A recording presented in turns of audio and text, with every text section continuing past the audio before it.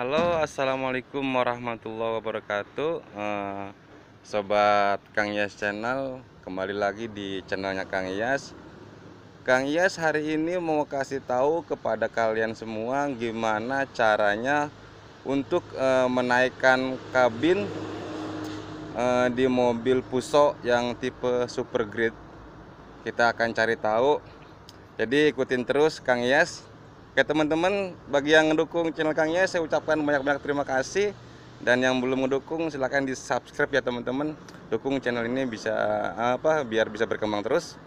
Oke, kita saksikan gimana caranya menaikkan kabin mobil eh, Mitsubishi Fuso yang tipe Super Grade. Oke teman-teman, saksikan.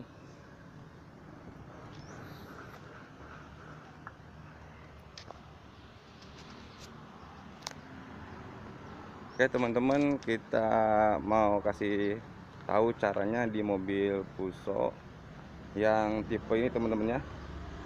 Yang tipe Super Grid. Soalnya beda mobil kadang-kadang juga beda cara penggunaannya untuk menaikkan kabin. Kali ini kita dibantu sama Kang Mada teman-teman. Kang Mada akan membantu kita gimana caranya buat bisa eh, menaikkan kabin Oke, kita lihat caranya. Kang Manda silakan dikasih tahu teman-teman.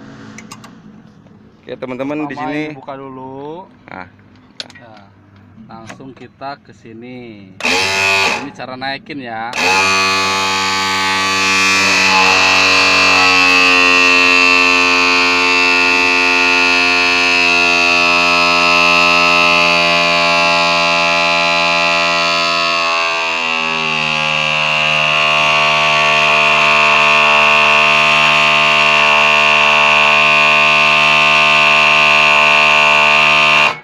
Oke. Ya, Di sini ada tombol apa? Up sama down. Jadi Iya. kita yang di tombol yang up-nya teman-teman buat naik ke atas. iya.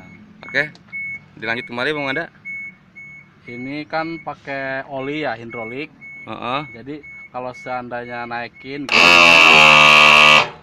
nurunin ini. Oh ya, di down di kalau mau Ya, kalau menurunkan. nurunin ini. Kalau Oke. seandainya ini mati, ini ada manualnya. Oh. Ini manualnya. Ini didongkrak.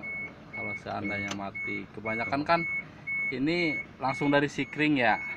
Heeh. Ada saklarnya di sono. Takutnya posisi kita lagi di tol, kita kepanikan, kita gunain ini aja, jangan repot-repot. Hmm. Oke teman-teman, kayaknya kayak gitu dulu. Kita langsung praktekin aja teman-teman ya. Ya, Kita coba Kang Mada. Mau naikin. Ya, coba.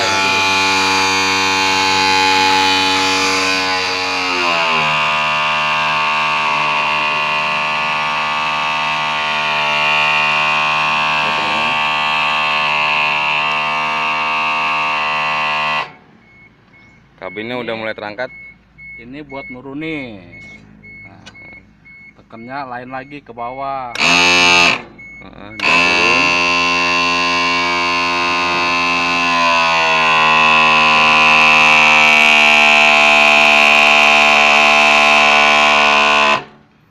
harus mati ya. Jangan Hmm. sampai walaupun kabin udah turun, ini tetap belum mati sendiri gitu jangan. Harusnya sampai mati sendiri dia. Iya. Baru itu udah maksimal. Kita Mada tutup boleh di ini nggak dipraktekin buat ngepulnya nggak? Maksudnya sampai dia terangkat banget gitu. Berangkat banget. Heeh. Oke. Kita coba ya teman-teman ya. Kita Kita ambil ke atas ya, dorong ke belakang.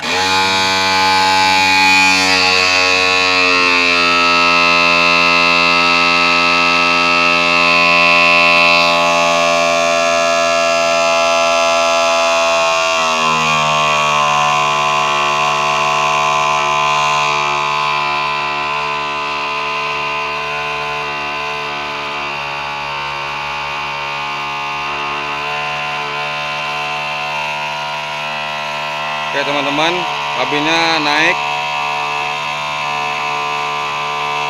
Oke, kita lihat dari jarak jauh.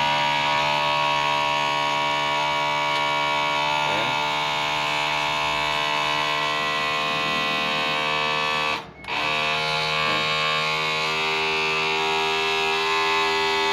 Oke, oke. Kalau buat nguncinya gimana, Kang Mada? Kalau udah posisi kayak gini, buat ngunci gimana? Apa udah Ini dia otomatis udah kunci? Otomatis. Oh, Udah dia otomatis. kunci sendiri, Iya, teman-teman. Dia hidrolik, pakainya hidrolik. Jadi kalau seandainya ini nggak ada yang pegang, apa nggak yang ngebawahin, dia tetap kayak gini. Oh, jadi aman, teman-teman. Aman teman-teman. Untuk tipe yang Fuso Super Grid kayak gini. Ya, Heeh. Oke, kita turun kembali, Kang Mada. turun nih. Kita turunin, tarik ke bawah. Hmm. Des.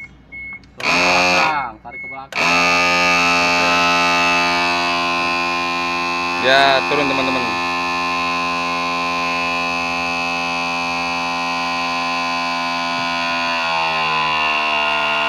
Biarin dia mati sendiri. Nah, Oh, sampai suaranya Ya. hilang, teman-teman. Berarti Ya. dia udah oke.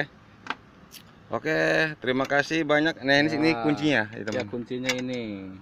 Oke. Kang Mada, terima kasih banyak udah Ya, dikasih sama-sama. tutorial bikin kabin gimana caranya biar bisa naik. Ya. Oke, Kang Mada, makasih banyak ya. Oke, oke, makasih. Oke, oke teman-teman.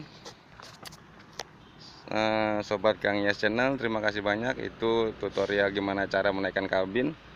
Oke teman-teman yang sudah mendukung channelnya Kang Yes, Kang Yes ucapkan banyak-banyak terima kasih. Dan yang belum mendukung silahkan di subscribe ya teman-teman, bantu channel ini biar bisa berkembang. Oke gitu aja dulu teman-teman dari Kang Yes. Eh, dan saya Ari. Assalamualaikum warahmatullahi wabarakatuh.